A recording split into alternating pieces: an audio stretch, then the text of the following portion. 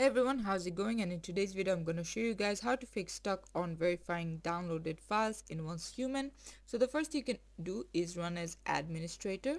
And to do that, all you need to do is search for Once Human. I'm doing another app because I don't have it installed. And then go to open file location.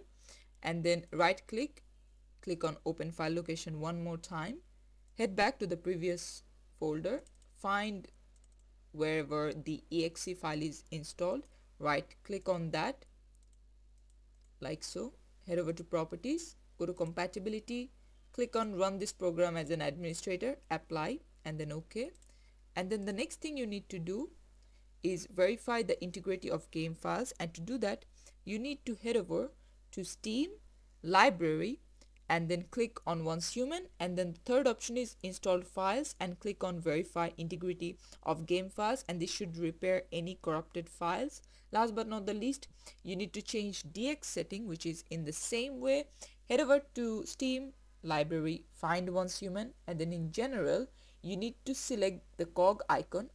And then uh, click on launch options. And from like if it's dx 12 head over to dx11 or if it was dx11 go to 12 and see which one works and then launch the game and hopefully this should work. This is it for the video. Thanks for watching.